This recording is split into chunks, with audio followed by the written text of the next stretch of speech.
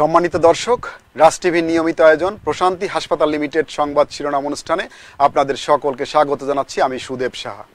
বিভিন্ন জাতীয় দৈনিকে প্রকাশিত সংবাদ বিশ্লেষণ নিয়ে আমাদের আজকের এই অনুষ্ঠানে অতিথি হিসেবে উপস্থিত আছেন বিশিষ্ট গণমাধ্যম ব্যক্তিত্ব, president, NBA, senior news presenter, NTV এবং মেম্বার প্রচার ও প্রকাশনা উপকমিটি বাংলাদেশ আওয়ামী লীগ, মুমতাহিনা হাসনাত ঋতু চলুন দর্শক পরিচিত হই আমাদের অতিথির সঙ্গে। আপা আসসালামু আলাইকুম। ওয়ালাইকুম আসসালাম। আপনাকে শুভেচ্ছা এবং স্বাগত আমাদের অনুষ্ঠানে। আপনাকেও অনেক শুভেচ্ছা এবং ধন্যবাদ আমাকে আমন্ত্রণ জানানোর জন্য। আপনি কেমন আছেন আপা? আমি আসলে সবকিছু মিলে আলহামদুলিল্লাহ মোটামুটি ভালোই আছি। এই মানে প্রাকৃতিক দুর্যোগ বলেন এটা তো এক ধরনের প্রাকৃতিক দুর্যোগই মহামারী অতিমারির মধ্যে আছি আলহামদুলিল্লাহ ভালো আছি। আমরা মূল আলোচনা যাব তার আগে দেখে আসব আজকের পত্রিকায় প্রকাশিত শিরোনামগুলো। অবশ্যই। দর্শক, চলুন দেখে আসি আজকের পত্রিকায় প্রকাশিত প্রধান প্রধান শিরোনামগুলো। প্রথম আলো। শিক্ষা প্রতিষ্ঠান খোলার প্রস্তুতি। পরিমণির রিমান্ড নিয়ে ব্যাখ্যা দিতে হবে দুই বিচারককে। করোনা সংক্রমণ। শনাক্ত রোগীর ষাট পার্সেন্ট ঢাকা বিভাগে। দৈনিক ইত্তেফাক। ই কমার্সে নারী উদ্যোক্তা বাড়ছে। তাদের ঋণ চাহিদার ষাট শতাংশ পূরণ করতে পারছে না ব্যাংক। শিক্ষা প্রতিষ্ঠান দ্রুত খুলে দেওয়ার ব্যবস্থা নেওয়া হচ্ছে, সংসদে জানালেন প্রধানমন্ত্রী। বন্যায় ভেসে গেছে নিউ ইয়র্ক, নিউ জার্সি, পনেরো জনের মৃত্যু। পরিমণির দ্বিতীয় ও তৃতীয় দফায় রিমান্ড, দুই ম্যাজিস্ট্রেটের কাছে ব্যাখ্যা চাইল হাইকোর্ট। করোনায় এমপি হাসিবুর রহমান স্বপনের ইন্তেকাল, রাষ্ট্রপতি ও প্রধানমন্ত্রীর শোক। দৈনিক কালের কণ্ঠ। বড়দের আশঙ্কায় ছোটরা ভয়ঙ্কর। সংসদে প্রধানমন্ত্রী, স্কুল, কলেজ খুব তাড়াতাড়ি খুলতে নির্দেশ দিয়েছি। আজ নতুন সরকার ঘোষণা করতে পারে তালেবান। তেরোই সেপ্টেম্বর খুলছে মেডিকেল কলেজ। কেনা হচ্ছে আরও ষোলো কোটি টিকা। এমপি স্বপন আর নেই। দৈনিক জনকণ্ঠ। হালাল পণ্যে হাতছানি। রপ্তানিতে এক লাখ কোটি টাকা বাণিজ্যের সম্ভাবনা। তেরোই সেপ্টেম্বর মেডিকেলের ক্লাস শুরু। যুক্তরাষ্ট্রে বন্যায় উনত্রিশ জনের মৃত্যু, জরুরি অবস্থা। স্কুল কলেজ দ্রুত খুলে দেওয়ার নির্দেশ। দৈনিক বাংলাদেশ প্রতিদিন। বিনিয়োগের সুফল নেই রেলে। সেবা কমছে, বাড়ছে অব্যবস্থাপনা। আগামী তিরিশ বছরে পাঁচ লাখ তেপ্পান্ন হাজার ছয়শো বাষট্টি কোটি টাকা ব্যয়ের পরিকল্পনা। দ্রুত স্কুল কলেজ খোলার নির্দেশ দিয়েছি প্রধানমন্ত্রী। সব মেডিকেল কলেজ খুলবে তেরোই সেপ্টেম্বর, সাড়ে ষোলো কোটি টিকা কেনার নীতিগত সিদ্ধান্ত। বঙ্গবন্ধু মডেল ভিলেজ হচ্ছে দশ উপজেলায়। সময়ের আলো। শিক্ষা প্রতিষ্ঠান, প্রতিষ্ঠানের তালা খুলছে। দ্রুত স্কুল কলেজ খোলার নির্দেশ দেওয়া হয়েছে সংসদের আলোচনায় প্রধানমন্ত্রী। আমাদের সময়। ক্ষুদ্র উদ্যোক্তার স্বপ্ন করোনায় তসনস দেশে করোনায় আরও অষ্টআশি মৃত্যু, শনাক্ত তিন হাজার চারশো ছত্রিশ। স্কুল কলেজ তাড়াতাড়ি খোলার ব্যবস্থা হচ্ছে, সংসদে প্রধানমন্ত্রী। আওয়ামী লীগকে চাপে রাখতে কৌশল, সরকারের পদত্যাগ চায় বিএনপি। দৈনিক আজকের পত্রিকা। স্কুল কলেজ দ্রুত খোলার নির্দেশ দিয়েছি প্রধানমন্ত্রী। তেরোই সেপ্টেম্বর খুলছে মেডিকেল কলেজ। টিকার জটিলতা কাটছে। করোনায় সাংসদ হাসিবুর রহমান স্বপনের মৃত্যু। দর্শক, এই ছিল আমাদের হাতে রাখা আজকের পত্রিকার প্রধান প্রধান শিরোনাম। আমরা চলে যাচ্ছি আমাদের অতিথির কাছে। আপা, আমাদের পত্রিকার সংবাদ শিরোনাম শুনছিলেন। আমরা এবার মূল আলোচনায় যেতে চাই। আজ বেশ কয়েকটি বিষয় নিয়ে আমরা আলোচনা করব। তার মধ্যে প্রথম আমরা একটু যেতে চাই শিক্ষা প্রতিষ্ঠানের দিকে। আপনি জানেন যে শিক্ষা প্রতিষ্ঠান দ্রুত খোলার নির্দেশ দিয়েছেন স্বয়ং প্রধানমন্ত্রী। এবং তিনি বৃহস্পতিবার সংসদে সিরাজগঞ্জ ছয় আসনের এমপি হাসিবুর রহমান স্বপনের মৃত্যুতে শোক প্রস্তাবের উপর আলোচনায় অংশ নিয়ে তিনি এই নির্দেশনার কথা জানান। তো এই যে যে একটি উদ্যোগ সরকারের প্রধানমন্ত্রী নিজেই যখন বলেছেন যে হ্যাঁ শিক্ষা প্রতিষ্ঠান খুলে দেওয়া হবে তো যদি শিক্ষা প্রতিষ্ঠান দ্রুত খুলে দেওয়া হয় তাহলে আমাদের শিক্ষার্থী এবং আমাদের শিক্ষা সমাজ কতটা উপকৃত হবে বলে আপনি মনে করেন? ধন্যবাদ। আসলে এরই মধ্যে শিক্ষার্থীদের অনেক ক্ষতি হয়ে গেছে লেখাপড়া এবং তারা বেশ মানসিক চাপে আছে। কারণ এই সিস্টেমে অনলাইনে পড়ালেখা করার অভ্যাস আমাদের সন্তানদের ছিল না, যেটা প্রথমে খুব কষ্ট হচ্ছিল, যদিও মানিয়ে নিয়েছে সময়ের কারণে। কিন্তু এটা মোটামুটি ক্ষতির সম্মুখীন হচ্ছে তাদের মানসিক বিকাশ হচ্ছে না, লেখাপড়া ঠিকমতো এগিয়ে যাচ্ছে না, যেটা মানে লাইভ একটা জিনিস, স্কুলে গিয়ে বা কলেজে যে বা ভার্সিটিতে গিয়ে যে লেখাপড়াগুলো হাতে কলমে হচ্ছিল, সেটা তো আর অনলাইনে সম্ভব না, তাই না? আর প্রেডিক্টেড রেজাল্টগুলো হচ্ছে, তাতেও কিন্তু মানে আসল মেধা সেটা বোঝা যাচ্ছে না। মানে অল এলং সবাই রেজাল্ট প্রায় একই রকম হয়ে যাচ্ছে, যারা খাটনি করছে বা মানে সঠিক ইয়েটা দিতে পারছে না। তো আমাদের মাননীয় প্রধানমন্ত্রী বঙ্গবন্ধু কন্যা, দেশনেত্রী শেখ হাসিনা, উনি ভালো মতো জানেন যে কখন কি করতে হবে। যেহেতু উনি ডিসিশন দিয়েছেন নিশ্চয়ই ভালো চিন্তা ভাবনা করেই দিয়েছেন, যেহেতু এখন আমাদের টিকা মোটামুটি প্রায় অনেকেরই দেওয়া হয়ে গেছে এবং অগ্রাধিকার দেওয়া হচ্ছে ছাত্রছাত্রী এবং টিচারদের ব্যাপারে। তো খুলে তারপর হয়তো যদি কোনো প্রবলেম হয় অবশ্যই নিশ্চয়ই পরবর্তীতে আরও অন্য সিদ্ধান্ত নেওয়া হবে। এবং অন্যান্য পৃথিবীর অন্যান্য জায়গায় যখন স্কুল কলেজগুলো খুলে দিয়েছিল পরবর্তীতে অসুবিধা হয়েছে বা সংক্রম সংক্রমণ বেড়ে গেছে তখন আবার বন্ধ করে দিয়েছে। তো এটা শুরু করতেই পারে। শুরু মানে নিশ্চয়ই কোনো ইয়ে আছে সিস্টেমের মধ্যে রেখেছে। আমি যেটা শুনেছি যে পর্যায়ক্রমে হ্যাঁ ধাপে ধাপে খোলা হবে। স্কুলে হয়তো দুই দিন, তিন দিন, এরকম করে ধাপে ধাপে এটা বৃদ্ধি করা হবে। আমার মনে হয় এটা খুব ভালো উদ্যোগ এবং আমরা সাধুবাদ জানাচ্ছি এবং বাচ্চারা স্কুলে যাওয়ার জন্য উদ্গ্রীব হয়ে বসে আছে। তাদের মানে টিচারদের সাথে দেখা হবে। যতই বলেন যে অনলাইনে পড়ছে, তারা ফিক্সড হয়েছে, তাদের চোখে অনেক প্রবলেম হচ্ছে। কিন্তু স্কুলে গেলে মুভমেন্ট থাকে হ্যাঁ? বন্ধুদের সাথে দেখা হচ্ছে টিচারদের সাথে সরাসরি দেখা হচ্ছে ইন্টারাকশনটা হচ্ছে, প্রশ্ন করছে তারা ঠিকমতো মানে বডিলি মুভ করেও তো তারা উত্তর দিতে পারছে।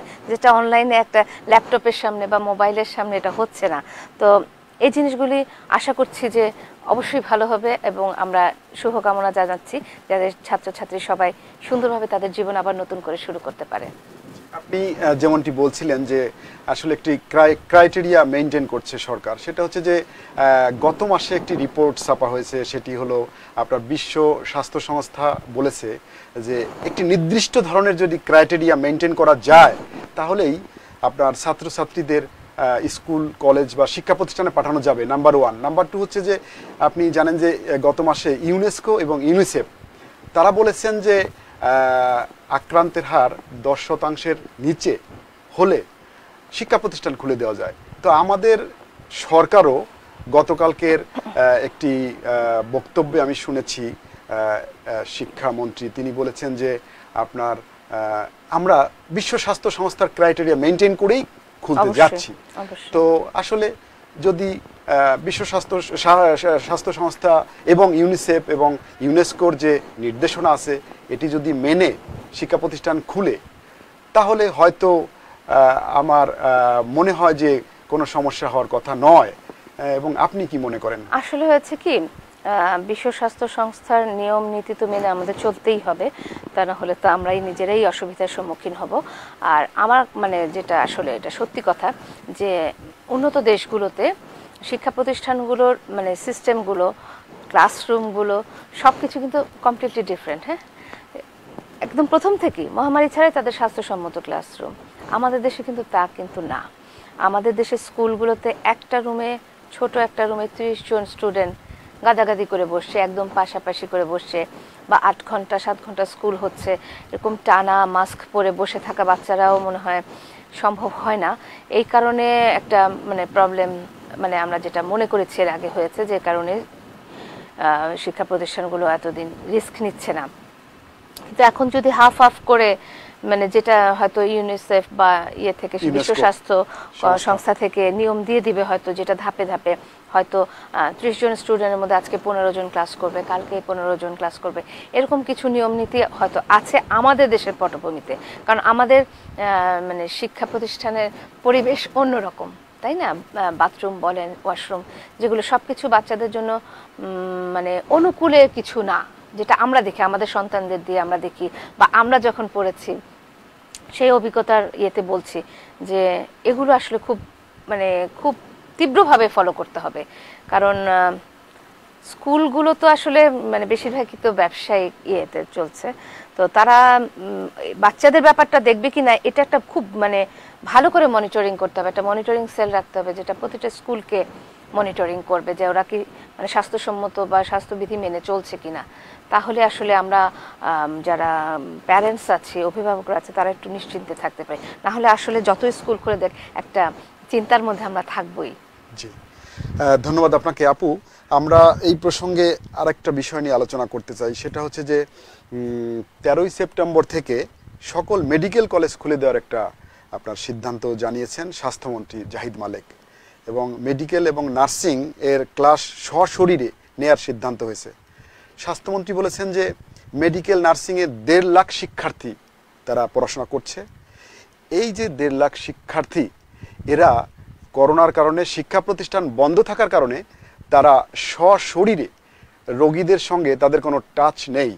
তো না থাকায় তারা যে অনলাইনে যে শিক্ষা, সেটা কার্যকরী হচ্ছে না। এই কথা বিবেচনায় রেখে তেরোই সেপ্টেম্বর থেকে মেডিকেল কলেজ বিশ্ববিদ্যালয় খুলে দেওয়ার চিন্তা করছেন। এটির সুফল মেডিকেল শিক্ষার্থীরা কতটা পাবেন? যদি খুলে দেওয়া হয়, কতটা পাবেন বলে আপনি মনে করেন? মেডিকেলের পড়া আর কোনো পড়ার সাথে তো কোনো তুলনা হয় না। তো মেডিকেলের পড়াশোনাই হলো আমাদের রোগী রোগী ভিত্তিক তাই না? এই রোগে যদি মানে ইন্টারাকশন যদি না থাকে মানে একদম প্র্যাকটিক্যালি যদি তারা না করে, এটা তো কোনোভাবেই সম্ভব না, তাই না? তো এতে তো অনেক অলরেডি ক্ষতির সম্মুখীন হয়েছে যারা মেডিকেল স্টুডেন্ট ছিল, তাদের তো অনেক লস হয়েই গেছে। ইয়ার লস বলেন, পড়ালেখার লস বলেন, এবং আমরা যে মানে নতুন ডাক্তার যাদের পাবো, তাদেরও আমার কাছে মনে হয় মানের ইয়েটাও কমে যাবে। কারণ হলো যে পরীক্ষাগুলো এবং যে ক্লাসগুলো, যে লেকচারগুলো তারা মিস করেছে, যেটা মানে সশরীরে হতো, সেইগুলোর জন্য তো আসলে মানে আমি মনে করি যে অনেক বেশি ক্ষতি হয়েছে এবং মানে রোগ স্টুডেন্টেরও ক্ষতি হয়েছে আমরা যারা রোগী থাকি তাদেরও ক্ষতি হয়ে গেছে। কারণ হলো এটা একেবারেই মানে প্র্যাকটিক্যাল নির্ভর একটা পড়াশোনা। এটার সাথে আর কোনো কিছু তুলনা হয় না। এবং আমি মনে করি মাননীয় স্বাস্থ্যমন্ত্রী একদম সঠিক সিদ্ধান্তটাই নিয়েছেন এবং খুলে প্রতিষ্ঠানগুলো খুলে দিয়ে মানে দ্রুত গতিতে একদম মনোনিবেশ করে সবাই পড়াশোনা করবে এবং আমাদের ভবিষ্যৎ ডাক্তাররা ভালোভাবে লেখাপড়া করে বের হয়ে আসবে এবং সমাজের ভালো কাজগুলো, ভালো চিকিৎসাগুলো দেবে। এইটাই তো আমরা আশা করছি। এখানে আরেকটি কথা বলা হয়েছে যে যারা মেডিকেলের স্টুডেন্ট আছে এমবিবিএস যারা পড়ছে, তাদের হচ্ছে আপনার প্রথম বর্ষ, দ্বিতীয় বর্ষ এবং পঞ্চম বর্ষের ক্লাস শুরু হবে তেরোই সেপ্টেম্বর থেকে। আর যে বাকি দুটি বর্ষ থাকল, তৃতীয় এবং চতুর্থ, তো এটি কেন করা হলো? এই ব্যাপারে কি বলবেন আপনি? বলা হয়েছে প্রথম বর্ষ, দ্বিতীয় বর্ষ এবং পঞ্চম বর্ষ। এটি এটি আপনার স্বাস্থ্যমন্ত্রী বলেছেন যে এই তিনটি বর্ষের যত স্টুডেন্ট আছে তাদের ক্লাস প্রথম শুরু করব। পর্যায়ক্রমে অন্যান্য বর্ষের শুরু হবে। তো এটা হয়তো যারা পঞ্চম বর্ষের স্টুডেন্ট আছে তারা একদম ফাইনাল ফাইনাল ইয়ারে ফাইনাল স্টেজে তাদের তারা তারা তো এক বছর পরে ইন্টার্ন ইন্টার্নশিপ করবে, হ্যাঁ। তো এই জন্য রোগীর সাথে যে সংস্পর্শ প্রয়োজন সেটার একটা মানে ব্যাপার তারা এতই অন্তিম ইয়ে মানে পর্যায়ে আছে মানে তাদের দিকটা খুব বেশি গুরুত্ব সহকারে দেখতে হবে। অবশ্যই নীতিগত সিদ্ধান্ত নিশ্চয়ই অনেক চিন্তা ভাবনা করেই নেওয়া হয়েছে এবং প্রয়োজনীয় নেওয়া হয়েছে। আর প্রথম বর্ষের কথাও বলেছেন কারণ ওদের ওরিয়েন্টেশনের ব্যাপার আছে কারণ ওরা নতুন শিক্ষা শুরু করছে তো তাদেরও তো একটা ওরিয়েন্টেশনের ব্যাপার আছে। কারণ তো নিশ্চয়ই এই মানে তিনটা বর্ষের প্রয়োজনীয়তা খুব বেশি খুব ইম্পর্টেন্ট ব্যাপার যার জন্য এদেরকে নির্দেশনা দেওয়া হয়েছে। এবং মানে ইয়েটা তো মানে ফিফথ ইয়ার পঞ্চম বর্ষ তো একেবারেই লাস্ট স্টেজ তারা তারা ডাক্তার হ্যাঁ। অলরেডি ইন্টার্ন শুরু করবে। তো সুতরাং তাদেরকে তো কোনোভাবেই করা যায় না। অলরেডি তারা অনেক ক্ষতির সম্মুখীন ছিল। জি জি। আপনাকে ধন্যবাদ। আমরা একটু টিকা প্রসঙ্গ আসতে চাই। সেটা হচ্ছে যে টিকায় অগ্রাধিকার পাবেন শিক্ষক এবং শিক্ষার্থীরা বলেছেন স্বাস্থ্যমন্ত্রী। আসলে আমরা যতই আলোচনা করি দেখি যে আমাদের সরকার আসলে স্বাস্থ্য বান্ধব সরকার। কারণ এই যে স্বাস্থ্যমন্ত্রী তিনি বলেছেন যে চীনের কাছ থেকে নতুন করে ছয় কোটি ডোজ এবং বিশ্ব স্বাস্থ্য সংস্থার মাধ্যমে সাড়ে দশ কোটি ডোজ ভ্যাকসিন ক্রয়ের নীতিগত একটি সিদ্ধান্ত হয়েছে। এবং এই টিকা আসা শুরু হলেই শিক্ষক শিক্ষা শিক্ষার্থীরা অগ্রাধিকার পাবেন। যদি অগ্রাধিকার পায় শিক্ষক এবং শিক্ষার্থীরা। তাহলে আপনি কি মন্তব্য করবেন? না, অবশ্যই তাদেরকে অগ্রাধিকার দেওয়া উচিত। যেহেতু শিক্ষা প্রতিষ্ঠানগুলো খুলে দিচ্ছে, তাদের স্বাস্থ্য মানে যাতে সঠিকভাবে থাকে, কোনো আক্রান্ত না হয় মানে টিকা দিলে যে আক্রান্ত হবে না নট নেসেসারি তা তো না। কিন্তু তাদের একটা ইয়ে পাওয়া যাবে খারাপ কিছুতে, খারাপ পর্যায়ে পৌঁছবে না, সেটার একটা নিশ্চয়তা থাকে। তো সেই কারণে যেহেতু বিশ্ববিদ্যালয়, স্কুল, কলেজ সব খুলে দিচ্ছে, তো তাদেরকে তো অগ্রাধিকার দিতেই হবে, কারণ তাদের সেফটিটা আগে দেখতে হবে। এবং যেহেতু তারা একেবারে বলতে গেলে অনেক অনেক মানুষ একসাথে হয়ে যাবে, তাই না? তখন স্বাস্থ্যবিধি কতটুকু মেনটেন হবে বা করতে পারবে সেই জন্য টিকাটা দেওয়া খুবই জরুরি। আমি আরেকটা কথা বলি, যেমন যারা বিদেশে পড়ালেখা করতে যাচ্ছে, তাদের তো টিকার একটা বিশেষ ব্যবস্থা করা হয়েছে। তবে সিনো মানে চাইনিজ টিকাগুলো নিয়ে একটু প্রবলেম আছে তাদের ব্যাপারে। কারণ অনেক জায়গায় সেটা স্বীকৃতি দেওয়া হয়নি। তো আমি আশা করব যে সরকার নিশ্চয়ই এই দিকটা খুব বিবেচনা করবেন যে যারা বিদেশে পড়া প্রবাসে যাচ্ছে পড়াশোনা করতে তাদেরকে যাতে মানে টিকা ওইভাবে করে দেওয়া হয় যাতে প্রবলেম না হয়। এবং এমন এমনকি শুনেছি যে ওমরা হজের ব্যাপারেও ওখান থেকে একটা নিষেধাজ্ঞা এসেছে যে একটা চাইনিজ টিকা নিয়ে একটা প্রবলেম আছে। যে ওরা ইয়ে করতে গ্রহণ করছে না। তো সেই ব্যাপারটা আমাদের সরকাররা দেখবেন এটাই আমরা চাচ্ছি। জি। আপা স্বাস্থ্যমন্ত্রীর আরেকটি ঘোষণার বিষয়ে আমরা আলোচনা করব। সেটি হচ্ছে আমরা একটু বিজ্ঞাপন বিরতির পরে আবার আসব ফিরে। প্রিয় দর্শক নিচ্ছি আমরা ছোট্ট একটি বিজ্ঞাপন বিরতি। ফিরছি কিছুক্ষণ পরেই।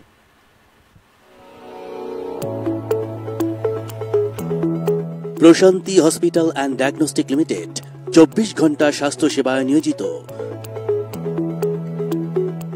মমতা ও সেবায় অনন্য এই হসপিটালে রয়েছে আন্তর্জাতিক মানের ICU NICU PICU CCU HDU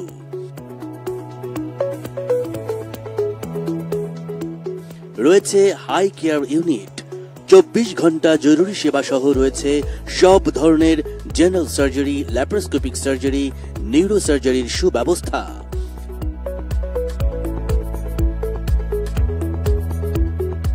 medicine surgery gynae ENT হৃদরোগ সহ সকল বিভাগের স্বনামধন্য বিশেষজ্ঞ চিকিৎসকের কনসালটেশন রয়েছে বিশেষায়িত ট্রমা সেন্টার সি আম প্রযুক্তিতে পেইন হাড়ভাঙ্গা কিডনি পাথর ও স্পাইন সার্জারি। স্বল্প খরচে বিশেষজ্ঞ চিকিৎসক দ্বারা নর্মাল ডেলিভারির সুব্যবস্থা। আধুনিক সরঞ্জাম সম্বলিত স্বয়ংসম্পূর্ণ ওটি কমপ্লেক্স, পূর্ণাঙ্গ pathological lab, digital X ray ultrasonogram সহ সকল পরীক্ষা দ্রুততম সময়ে করা হয়। শীতাতপ নিয়ন্ত্রিত জেনারেল ওয়ার্ড কেবিন, পরিচ্ছন্ন পরিবেশ সহ মুমূর্ষু রোগীদের জন্য রয়েছে আইসিইউ অ্যাম্বুলেন্স সেবা। আজই যোগাযোগ করুন Prashanti hospital and diagnostic limited, Malibagh মোড়, ঢাকা বারোশো সতেরো। Hotline zero two two two two two two eight seven two eight.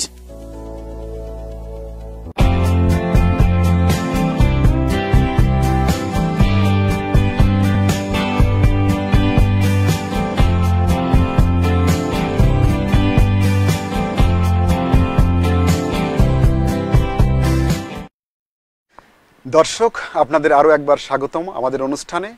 আপনারা দেখছেন প্রশান্তি হাসপাতাল লিমিটেড সংবাদ শিরোনাম অনুষ্ঠান। আমাদের আজকের অতিথি president, NBA, senior news presenter NTV এবং মেম্বার প্রচার ও প্রকাশনা উপকমিটি বাংলাদেশ আওয়ামী লীগ, মমতাহিনা হাসনাত ঋতু চলে যাচ্ছে আমাদের অতিথির কাছে। আপা, বিরতির পূর্বে আলোচনা করছিলাম আমাদের স্বাস্থ্য বান্ধব সরকারের স্বাস্থ্যমন্ত্রীর কথা। একটি ঘোষণার কথা বলেছিলাম যে আলোচনা করব। তো স্বাস্থ্যমন্ত্রী আরও একটি ঘোষণা দিয়েছেন। সেটি হচ্ছে যে বৃহস্পতিবার তিনি জাতীয় সংসদে অধিবেশনে লিখিত প্রশ্নোত্তরে তিনি সংসদকে জানিয়েছেন, প্রতিটি জেলা সদরে হাসপাতাল বার্ন ইউনিট স্থাপন করা হবে। স্বাস্থ্যবান্ধব এই সরকারের যে উদ্যোগ বার্ন ইউনিট যদি এটি আপনার স্থাপন করা হয় তাহলে নিশ্চয়ই জনগণ উপকৃত হবেন। তো আপনি, আপনার মন্তব্য শুনতে চাই। মানে খুবই ভালো একটা উদ্যোগ, কারণ হলো আমাদের মানে এত আঠারো কোটি জনগণের মাঝখানে প্রায়ই কিন্তু আমাদের বাসা বাড়িতে বলেন বা বিভিন্ন প্রতিষ্ঠানে বলেন, অগ্নিদগ্ধের ব্যাপার ঘটে যায়, আল্লাহ না করুক এরকম আর হোক। কিন্তু মানে সব কিন্তু চলে আসে ঢাকায়। তাই না? ঢাকায় শেখ হাসিনা বার্ন হসপিটাল যেটা তো সেখানেও প্রেশার পড়ে যায়। কিন্তু প্রতিটা জেলা সদরে বা এরকম যদি বার্ন ইউনিটের কিছু ইয়ে করা হয় আমার মনে হয় না ঢাকায় কারও আর আশা লাগবে সেখানেই ভালো সুচিকিৎসা পাবে। আর এমন একটা ব্যাপার হয় কারণ এই মানে অগ্নিদগ্ধ বা বার্ন শুধু যে শুধু অগ্নিতেই হয় আর নানা রকমের ব্যাপার থাকে। থাকে। তো সেই ঘটনাগুলো ঘটে গেলে ঢাকায় আসতে আসতে সে রোগীর যে অবস্থাটা হয়, সেটাও কিন্তু খুব বেদনাদায়ক। তো সেগুলো যদি জেলা সদরে থাকে বা তার এলাকায় থাকে খুব কম সময়ের মধ্যে যেহেতু সরকারি, কম খরচও হবে, সেই মানে ভালো চিকিৎসা পাবে। আমরা আশা করছি দ্রুত এটা বাস্তবায়ন হবে। ধন্যবাদ জানাচ্ছি আমাদের স্বাস্থ্যমন্ত্রীকে। জি।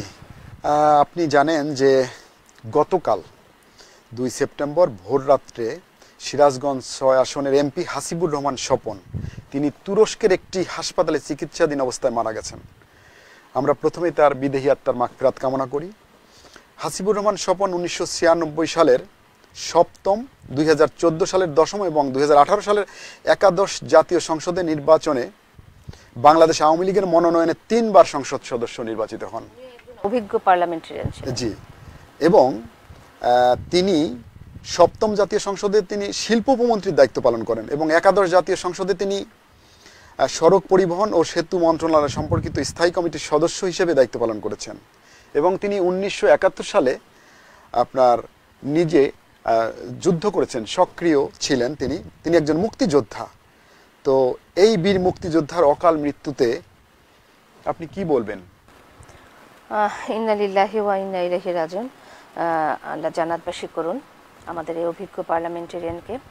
আর মানে উনি যে এলাকা থেকে এমপি হয়েছেন বারবার, উনি ভীষণ অভিজ্ঞ একজন পার্লামেন্টারিয়ান ছিলেন। অবশ্যই আমাদের অনেক বড় ক্ষতি হয়ে গেছে রাজনীতিতে। এই মানে ক্ষতি তো আসলে পুষিয়ে ওঠার মতো না, কিন্তু মানে এই মানে এই আসনের বা এই এলাকার লোকজনের প্রতি আমার আসলে খুব বেশি টান। শাহজাদপুর শাহজাদপুর আমার মরহুম মরহুম শাশুড়ির আর কি আচ্ছা আচ্ছা। জন্মস্থান উনি ওই এলাকার। যার জন্য সিরাজগঞ্জ এলাকার প্রতি একটা আলাদা আমার টান আছে। এবং ঠিক ওই এলাকা থেকে ওই আসন থেকেই উনি বহুবার এমপি হয়েছেন।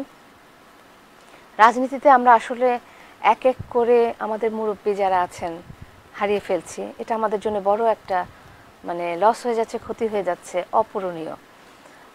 আমরা আমাদের বলব কি অভিভাবকহীন হয়ে যাচ্ছে আস্তে আস্তে। যেমন হাসিবুর রহমান স্বপন সাহেব উনি ওনাকে হারিয়েছেন। গতকাল আমাদের সিলেট জেলা পরিষদের চেয়ারম্যান জেলা পরিষদ চেয়ারম্যান ভীষণ অভিজ্ঞ একজন মুরব্বী আমাদের অ্যাডভোকেট লুথুর রহমান উনিও কালকে মারা গেছেন উনিও করোনা পরবর্তী ইয়েতে মারা গেছেন। তো উনি সিলেট জেলা আওয়ামী লীগের সভাপতি ছিলেন। ভীষণ অভিজ্ঞ একজন মানুষ ছিলেন। এভাবে আমরা আস্তে আস্তে কিন্তু সব অভিভাবক শূন্য হয়ে যাচ্ছি। আসলে এটা আর কিছু বলা নাই প্রকৃতির নিয়ম। আল্লাহ সবাইকে জান্নাতবাসী করুন। এবং আপনি জানেন যে আপনাদের হাসিবুর রহমান স্বপন উনি করোনা আক্রান্ত ছিলেন। উনি পজিটিভ ছিলেন। উনি বাংলাদেশে চিকিৎসা গ্রহণ করেছেন। পরবর্তীতে উনি কালকে আমি নিউজে পড়লাম আমি কালকে মানে ইয়েতে ছিলাম সংবাদে ছিলাম। তখন ওখানে এসেছিল যে উনি কিডনি হ্যাঁ, সমস্যায় কিডনি- কিডনি প্রবলেম ছিল তার। তার আগে তিনি আপনার এই বাংলাদেশের স্পেশালিস্ট হসপিটালেও চিকিৎসাধীন ছিলেন। তারপরে এরপর উন্নত চিকিৎসার জন্য তিনি তুরস্কের মেমোরিয়াল হসপিটালে ভর্তি ছিলেন। তো করোনা আসলে মানুষের জীবনকে কেড়ে নিচ্ছে এটা মানে আফটার এফেক্টটা পরবর্তী যেটা এটাতে অনেকেই কিন্তু খুব কষ্ট পাচ্ছে। যেমন আমিও গত অক্টোবরে করোনায় আক্রান্ত হয়েছিলাম। আমারও twenty five percent lung attack হয়ে গিয়েছিল। আমি কিন্তু এখনও কষ্ট পাচ্ছি। আমার এখনও শ্বাসকষ্ট হয়। এখনও আমার দুর্বলতা মানে অনেক কিছু ভুলে যাই। মানে নানা রকম আনুষঙ্গিক অনেক প্রবলেম হয়। তো মানে এই জন্যে বলতে চাই সবাইকে যে অনেক সচেতন হতে হবে। আর আমরা আসলে মনে করতেছি টিকা দেওয়া হয়ে- হয়ে গেছে। আমরা মনে হয় নিশ্চিন্ত। টিকাটা কিন্তু আসলে করোনা না হওয়ার জন্য না এটা হয়তো অনেকে বোঝে না। একটা শ্রেণির মানুষ বুঝতে চায়ও না। তো কিন্তু আমাদের মাস্ক পরাটা অব্যাহত রাখতে হবে। পরিষ্কার থাকাটা হাত ব্যাপারটা খুব বেশি আমরা মানে খেয়াল রাখব। মাস্ক খোলা যাবে না। মাস্ক যাতে মানে রেগুলার পরে থাকে এটা কিন্তু মানে শুধু করোনা সময় থেকে না, আমরা কিন্তু আগে থেকেও জানতাম যে এটা খুব উপকার। কিন্তু এই মানে টিকা এগুলো দেওয়ার পরে অনেকে এগুলো কমিয়ে দিয়েছে। যেমন আমি রাস্তা দিয়ে আসছিলাম যখন, মোটামুটি নাইনটি পার্সেন্টের মুখে কিন্তু মাস্ক ছিল না। মানে তারা খুব ঘনিষ্ঠভাবে এখনও কথা বলেন। দেখা যায় রাস্তাঘাটে। তো এই জিনিসগুলো আসলে খুব মানে ভয় পেয়ে যাই দেখলে। কারণ যে একবার ভুগেছে সেই জানে যে কতটা কষ্ট। হয়তো অনেকের ইমিউনিটি সিস্টেমটা স্ট্রং তারা হয়তো বোঝেনি হালকার উপর দিয়ে গিয়েছে। কিন্তু এই যে পরবর্তী যে সারা বছরের যে কষ্টটা, এটা আমরা যারা একটু বেশি আক্রান্ত হয়েছিলাম, তারা বুঝি যে খুব কষ্টকর সুতরাং দর্শকদের অনুরোধ করব, প্লিজ, আপনারা সচেতন থাকবেন আগের মতোই, মাস্ক পরবেন, হাত ধুবেন, নিজের পরিবারের কথা চিন্তা করে, নিজের কথা চিন্তা করে অবশ্যই এই নিয়মগুলো, স্বাস্থ্যবিধিগুলো মেনে চলবেন। তাহলে আপনিও ভালো থাকবেন, আপনাদের পরিবার ভালো থাকবে, আপনার আশেপাশের মানুষও ভালো থাকবে। জি, আপনি যেমন বলছিলেন যে করোনার প্রসঙ্গ, সেটা হচ্ছে যে আমরা দেখেছি যে গত চব্বিশ ঘন্টায় কিন্তু আপা অষ্টআশি জনের মৃত্যু হয়েছে। ঠিক যদি একটি পরিসংখ্যান দিতে চাই সেটা হচ্ছে যে সোমবার থেকে যদি বলি যে সোমবারে চুরানব্বই জন মারা গিয়েছিল মঙ্গলবারে সেটি কমে হয়েছিল ছিয়াশি। বুধবারে জি বুধবারে হয়েছে উনআশি ঠিক বৃহস্পতিবার গতকাল হয়েছে এইটটি এইট অষ্টআশি। তো এই যে বাড়া কমা তো যেমনটি আপনি বলছিলেন যে আপনি বাসা থেকে যখন আসছেন তখন দেখেছেন যে নাইনটি পার্সেন্ট মানুষের মুখে মাস্ক নেই তারা মাস্ক ব্যবহার করছে না। আর আমি যেটা দেখেছি সেটা হচ্ছে যে আমি দেখেছি যে হ্যাঁ টেন পার্সেন্ট মানুষের মুখে মাস্ক আছে। তবে তার মধ্যে পাঁচ পার্সেন্ট হচ্ছে আপনার মুখে না ব্যবহার করে তার তুতনিতে ব্যবহার করেছে এবং পাঁচ সঠিকভাবে ব্যবহার করেনি। তো তারা মনে করছেন যে আসলে করোনা বলতে কিছু নাই। হ্যাঁ কমে যাচ্ছে যেহেতু এখন হয়তো মাস্ক পরা যাবে না। এবং যেমনটি আপনি বলছিলেন যে আসলে সাবধানতা মানে করোনা আক্রান্ত করোনা মৃত্যু কমে যাওয়া মানেই যে করোনা চলে গেছে পৃথিবী থেকে বাংলাদেশ থেকে এটি কিন্তু নয়। সাবধানতা অবলম্বন করতে হবে মাস্ক পরতেই হবে। তো এটি যুগে যুগে কিন্তু মহামারী মহামারীগুলো বিদায় নেয়নি কিন্তু হ্যাঁ? বিভিন্ন ভ্যাকসিন পর্যায়ক্রমে আবিষ্কার হয়েছে। মানে আমা- আমাদের দেহে প্রয়োগ করার পর হয়তো আমাদের শরীরের ইয়েটা বেড়ে যাওয়াতে আমরা সেই অসুখগুলোতে আক্রান্ত হচ্ছি না। কিন্তু পৃথিবী থেকে বিলুপ্ত কিন্তু হয়ে যায়নি। আমরা আমরা আমাদেরকে প্রিভেন্ট করতে পেরেছি সেই কারণে। সুতরাং যেহেতু এখন টিকাগুলো এখনও আমাদের ট্রায়াল বেসে চলছে তো সুতরাং এতটা অসাবধানতা থাকাটা ঠিক না। আর আমি মানে এই যে আপনি বললেন যে থুতনিতে পড়া প্রায় মানুষই আমার কাছের মানুষ, সবাইকে দেখছি, এরকম করে। তো এমনকি আমি দেখেছি জ্বর, কাশি নিয়ে দুই দিন বাসায় থেকে তৃতীয় দিন তারা কিন্তু আবার ঘুরে বেড়াচ্ছে। তারা টেস্টেও যায়নি। তাহলে যারা টেস্টে যাচ্ছে না, তারা তো এই গণনার মধ্যেও পড়ছে না, তাই না? তারা টেস্টটাকে আমি অনেক শিক্ষিত মানুষকেও দেখেছি যে তারা জ্বরে আক্রান্ত হয়েছে ফুল ফ্যামিলি এখন কিন্তু আমরা হালকা জ্বর হলেও প্রথমেই ভাবি হলো করোনার ব্যাপার যে আমরা টেস্টে যাই। টেস্টে গেলে আমরা একটা নিয়ম নীতির মধ্যে পড়ে যাব। ওষুধ বলেন যেটাই হলো, একটা চিকিৎসার আওতায় চলে যাব।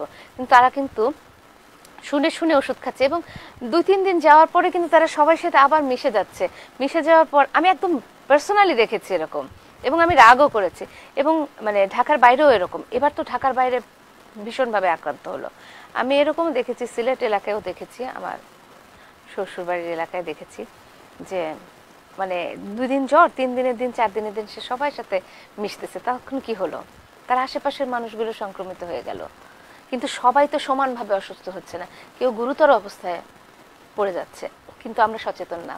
মায়াটাই কমে গেছে মনে হয়। জি। জি, আমরা প্রায় শেষ পর্যায়ে এসেছি। আমরা আর একটি প্রসঙ্গ আলোচনা করেই শেষ করব। সেটা হচ্ছে ডেঙ্গু প্রসঙ্গ। গত চব্বিশ ঘন্টায় দেশে তিনশো জন নতুন ডেঙ্গু রোগী হাসপাতালে ভর্তি হয়েছেন। এর মধ্যে রাজধানীতেই দুশো চুরাশি জন এবং গত চব্বিশ ঘন্টায় তিনজন মারা গেছেন। এ পর্যন্ত মোট মৃত্যু হয়েছে ফর্টি এইট এবং মোট ডেঙ্গু রোগীর সংখ্যা আছে দশ হাজার নয়শো একাশি সুস্থ হয়েছে নয় হাজার ছয়শো আটষট্টি জন। বর্তমান হাসপাতালে চিকিৎসা নিচ্ছেন এক হাজার তিনশো তেরো জন। তো এই অবস্থায় ডেঙ্গুর যে মানে আপনার প্রাদুর্ভাব, এটা এটা আসলে নির্ভর করে মানুষের সচেতনতার উপরে। এই কারণেই আমি বলব যে, গতকাল আপনার ঢাকা শিশু হাসপাতালে যিনি পরিচালক পরিচালক মহোদয় বলেছেন যে, ডেঙ্গু রোগ, এটা নাইনটি পার্সেন্ট রোগী বাসা বাড়িতে চিকিৎসা করলে ভালো হয়ে যায়, শুধুমাত্র টেন পার্সেন্টের ক্ষেত্রে হয়তো হাসপাতালে আসতে হয়। আপনি কি বলবেন?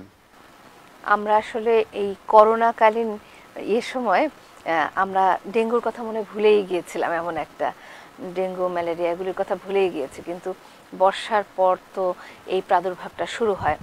কিন্তু এতে কিন্তু শিশুরা বেশি আক্রান্ত হচ্ছে যেটা খেয়াল করলাম। আমার যতটুকু মনে হয় ক্ষুদ্র জ্ঞানে যে আসলে বাচ্চারা মশা কামড়ালে বলতে পারে না পায়ের দিকে বা ওরা পড়ার টেবিলে পড়ছে টেবিলের নিচে মশার বাসা হয়ে আছে তো কামড়াচ্ছে। একটা কামড় দিলেই তো হয়ে যায় তাই না? এরকম করে বাচ্চারা মনে হচ্ছে বেশি আক্রান্ত হয়েছে। মানে একদম শিশুরা খুব বেশি। আর এর আগেও তো ডেঙ্গু হয়েছে। আমি যতটুকু দেখেছি ডেঙ্গুতে আক্রান্ত হলে হসপিটালাইজ না হলে যে যে মানে সঠিক চিকিৎসাটা বা যে ওষুধগুলো দেয়া হচ্ছে এগুলিও মানে হসপিটালেই মনে হয় হাসপাতালেই ভালো মানে সম্ভব ইয়ে সম্ভব যেটা বাসায় থেকে না। বাসায় রিস্ক নেওয়াটা আসলে ঠিক হবে না। আর শিশুদের ব্যাপারে বা বয়স্ক যারা আছেন আমাদের সিনিয়র যারা আছেন তাদের ব্যাপারে আসলে কোনোভাবেই মানে রিস্ক নেওয়া যায় না বাসায় থেকে। তো শর্ট মানে জ্বর হলেই আমার মানে অনুরোধ থাকবে সবাই প্লিজ টেস্টে যান। এটা ডেঙ্গু নাকি করোনা নাকি ম্যালেরিয়া নাকি টাইফয়েড নাকি নিউমোনিয়া প্লিজ আপনারা পরীক্ষায় যান, পরীক্ষায় গেলে আপনার সঠিকটা আসবে, আপনার সঠিক চিকিৎসা সাথে সাথে নিতে পারবেন। এই সচেতনতাটা রাখতে হবে সবার মনের মধ্যে। আর সবাই নিজের বাড়ি, ঘর পরিষ্কার রাখতে হবে। আশেপাশে এডিস মশা পরিষ্কার পানিতে হয়। কোনো পানি যেমন ফুলের টবে জমে থাকে, অনেকে কিন্তু গাড়ির টায়ার চেঞ্জ করে পুরনো টায়ারটাও কিন্তু রেখে দেয় হ্যাঁ? ওই টায়ারের মধ্যে কিন্তু পানি জমে। এখানে কিন্তু একেবারে মশার লার্ভা মানে ডিম ফোটানো একটা ভালো জায়গা তারা পায়। আমরা কিন্তু নিজের বাড়িঘর সুন্দর করে সাজিয়ে রেখি কিন্তু আশেপাশে খেয়াল করি না যে এই জিনিসগুলো। এই মানে পরিবেশটা যদি আমরা না ই করতে পারি, আমার পাশের বাড়িও কিন্তু আক্রান্ত হবে। তাই না? আমার নিচে পার্কিং বলেন বা গ্যারেজ বলেন, এই জায়গাগুলো খুব পরিষ্কার। কারও বারান্দা আজকাল তো সবাই ছাদ বাগান করে। সেই জায়গাগুলোতে পানি যাতে জমে না থাকে, প্রতিদিন একটু পানিগুলো ফেলে দেওয়া। আর আমি সিটি কর্পোরেশনের মেয়র মহোদয়দের অনুরোধ করব আপনারা সার্ভে করুন, জরিমানা করুন, ভীষণভাবে জরিমানা করুন যাতে পরবর্তীতে শিক্ষা হয় যে একজনেরটা দেখে আরেকজন যাতে এই ভুলটা আর না করে। এটা মানে সব কিছুতে আমাদের আসলে সচেতনতা মেইন মেইন হলো কাজ। মানে যে কোনো যে কোনো কিছুতে আমাদের সচেতন থাকতে হবে। এটা হলো মানে এখন ডেঙ্গুর ব্যাপারে এটাই বলব। কারণ এই, এর চেয়ে আর কিছু না, মশার স্প্রে করা বা একটু বাইরে সিঁড়ির কাছে একটা কয়েল জ্বালিয়ে রাখা, অনেক সময় মেইন ডোর খুললে সিঁড়ির ঘরে প্রচুর মশা জমে থাকে। এই জিনিসগুলো একটু সচেতন, একটু পরিষ্কার পরিচ্ছন্নতা সব কিছু এই জন্যই মনে হয় আমাদের বলা হয় পরিষ্কার পরিচ্ছন্নতা ইমানের অঙ্গ। প্রতিটা কাজেই পরিষ্কার পরিচ্ছন্নতা খুব কাজে লাগে। এই জিনিসটা যদি সবাই মেনটেন করে, আমার মনে হয় আমাদের পরিবেশ সুন্দর হবে, আমরাও ভালো থাকতে পারব। জি। আপনাকে অনেক ধন্যবাদ আপু। আপনি অনেক ব্যস্ত তারপরেও আমাদের সময় দিয়েছেন। এই জন্য আপনাকে অনেক অনেক ধন্যবাদ। আসলে রাজ টিভির ডাক পেলে বা আমন্ত্রণ পেলে আমি ঘরে থাকতে পারি না। রাজ টিভি আমার খুব আপন একটা জায়গা যার জন্য আমি সবসময় রাজ টিভি যতই ব্যস্ততা থাকুক আর যে অবস্থায় আমি থাকি না কেন রাজ টিভিতে যারা আপনারা আছেন তাদের আমন্ত্রণ পেলে আমি ছুটে আসি এবং ভালো লাগে। মনে হয় যে নিজের একটা মানে নিজের জায়গায় আসলাম। রাজ টিভির সবাইকে অনেক শুভকামনা জানাচ্ছি আর উত্তরোত্তর সাফল্য কামনা করছি। জি আপনাকে অনেক ধন্যবাদ। দর্শক আজ এ পর্যন্তই দেখা হবে আগামী অনুষ্ঠানে। ততক্ষণ আপনারা ভালো থাকেন সুস্থ থাকবেন স্বাস্থ্যবিধি মেনে চলবেন এবং অবশ্যই রাজ টিভির সাথেই থাকবেন। You are watching Raj TV, Jagorone, Bangladesh. Please subscribe our channel.